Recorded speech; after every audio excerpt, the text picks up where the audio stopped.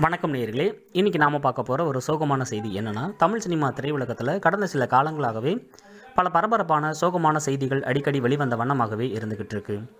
அந்த வரிசையில் இப்போது தமிழ் சினிமாவினுடைய முன்னணி மூத்த நடிகர் ஒருவர் மருத்துவமனையில் அனுமதிக்கப்பட்டு தீவிர சிகிச்சை பெற்று வருவதாக தகவல்கள் வெளியாகி அவருடைய ரசிகர்கள் மத்தியிலையும் சினிமா திரை பிரபலங்கள் மத்தியிலையும் மிகப்பெரிய அதிர்ச்சியையும் சோகத்தையும் ஏற்படுத்தியிருக்கு.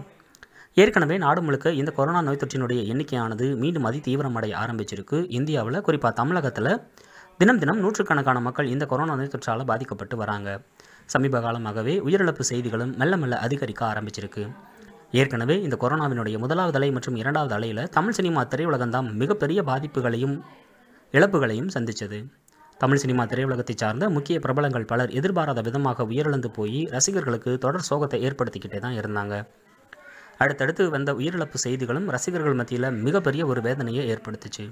இப்போ கொரோனா நோய் தொற்றினுடைய எண்ணிக்கையும் அதிகரிக்க ஆரம்பிச்சிருக்க இந்த ஒரு சூழலில் அடிக்கடி உயிரிழப்பு செய்திகளும் முன்னணி நடிகர்கள் கொரோனாவால் பாதிக்கப்பட்டிருக்கக்கூடிய செய்திகளும் வெளியாகி சினிமா திரையுலகமே மிகப்பெரிய பரபரப்பில் மூழ்கியிருக்கு அந்த வகையில் தமிழ் சினிமா திரையுலகத்தினுடைய முன்னணி மூத்த நடிகர் ஒருவர் இப்போ கொரோனா நோய் தொற்றால் பாதிக்கப்பட்டு மருத்துவமனையில் அனுமதிக்கப்பட்டிருக்கிற செய்தியானது ரசிகர்கள் மத்தியிலையும் சினிமா திரையுலகத்தினர் மத்தியிலையும் மிகப்பெரிய சோகத்தையும் அதிர்ச்சியையும் ஏற்படுத்தியிருக்கு. தமிழ் சினிமா திரையுலகத்தில் முன்னணி மூத்த நடிகராக வலம் வந்துக்கிட்டு இருக்கவர் தான் நடிகர் சரத்குமார். நடிகை ராதிகாவின் கணவரான சரத்குமார் அவர்களுக்கு இப்போ கொரோனா நோய் தொற்று ஏற்பட்டிருப்பது மிகப்பெரிய பரபரப்பையும் சோகத்தையும் ரசிகர்கள் மத்தியில் ஏற்படுத்தியிருக்கு. சரத்குமார் அவர்கள் தமிழ் சினிமா திரையுலகத்தில் எண்பதுகளின் காலகட்டங்களில் ஒரு வில்லன் நடிகராக அறிமுகமாகி அதற்கு பின்னால் தமிழ் சினிமாவினுடைய மறுக்க முடியாத கதாநாயகனாக மாறினார். முன்னணி இயக்குனர்கள் பலருடைய திரைப்படங்களில் நடித்து ஒரு முன்னணி நடிகராக தமிழ் சினிமா திரையுலகத்தில் வலம் வர ஆரம்பித்தார் இன்னைக்கு வரைக்குமே தமிழ் சினிமாவினுடைய குணச்சித்திர நடிகர்களில் ஒருவராகவும் அதே நேரங்களில் கதாநாயகனாகவும் நடிக்கக்கூடிய ஒரு திறமையான நடிகராக வலம் வந்துக்கிட்டு இருக்காரு. ஏற்கனவே முதல் திருமணம் செய்து விவாகரத்தான சூழலில் நடிகை ராதிகா அவர்களை இரண்டாவதாக திருமணம் செஞ்சுக்கிட்டாரு இன்னைக்கு வரைக்குமே தமிழ் சினிமாவினுடைய சிறந்த நட்சத்திர ஜோடியாக வலம் வந்துக்கிட்டு இருக்காங்க ராதிகா மற்றும் சரத்குமார் தம்பதியினர். இந்த ஒரு சூழலில் சரத்குமார் அவர்கள் பல நீண்ட இடைவெளிக்கு பிறகு இப்போ மீண்டும் திரைப்படங்களில் நடிக்க ஆரம்பிச்சிருக்காரு.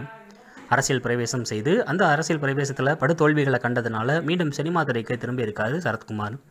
இப்படிப்பட்ட ஒரு சூழலில் அடிக்கடி இவருடைய செய்திகள் சமூக வலைதளங்களில் வெளிவர ஆரம்பிச்சிருக்கு.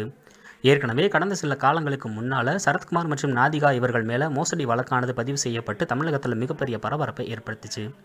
இப்போ தான் அதிலிருந்து மெல்ல மெல்ல வெளிவந்த சரத்குமார் அவர்களுக்கு மீண்டும் அதிர்ச்சி ஏற்படுத்துகிற விதமாக கொரோனா நோய் தொற்று உறுதி செய்யப்பட்டிருப்பது மிகப்பெரிய பரபரப்பை ஏற்படுத்தியிருக்கு.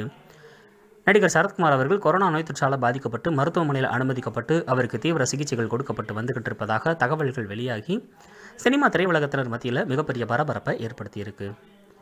ரசிகர்கள் பலரும் சரத்குமார் அவர்கள் சீக்கிரமாக குணமடைஞ்சு திரும்பி வரணும் அப்படின்னு பிரார்த்தனைகளை மேற்கொண்டுட்டு வராங்க. இது குறித்த உங்களது கருத்துக்களையும் மறக்காமல் கமெண்ட் செக்ஷனில் வந்து பதிவு செய்யுங்க. நன்றி வணக்கம்.